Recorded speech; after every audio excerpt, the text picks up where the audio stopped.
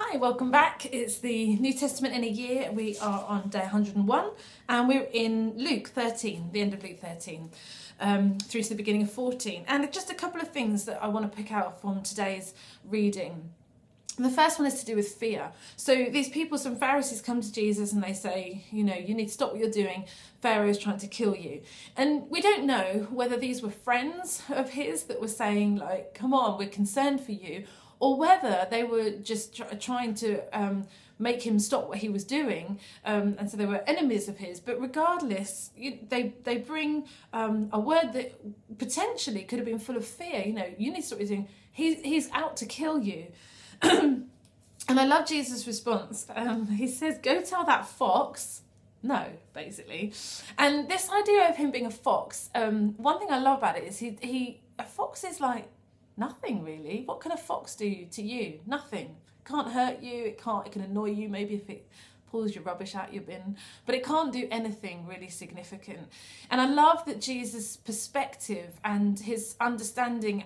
He was just so secure. He knew what he was there to do. He knew, and ultimately, he knew that this was not going to be down to Herod anyway. Whether he died or not, and we know he did, was not down to human choice, but God's, his own choice of the will.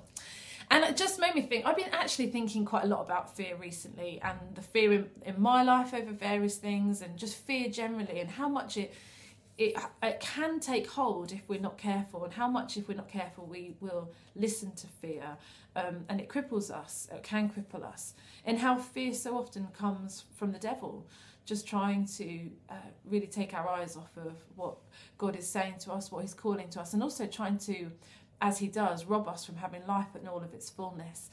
And I think from what I read um, today is just that desire in me, for me and for you, that we would have that same response that Jesus had, which was we see fear as um, something just to be brushed aside, to cast aside, um, and to not be uh, distracted by our fears.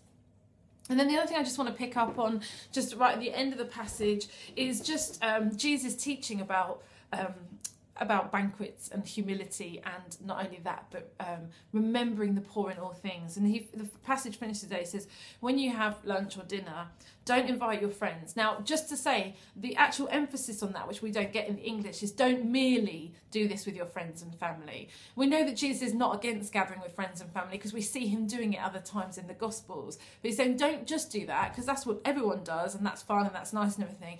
But you've got to remember the poor you've got to remember. And there's that sense of meal times being like the most wonderful, but also the most everyday thing. And just that reminder as we keep getting in Luke, remember the poor, remember the poor in your everyday. So, two things to leave you with today is first of all, how much is fear making itself comfortable in your life?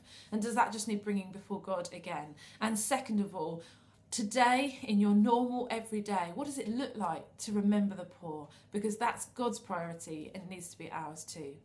All right, have a great day. I'll see you again tomorrow. Bye.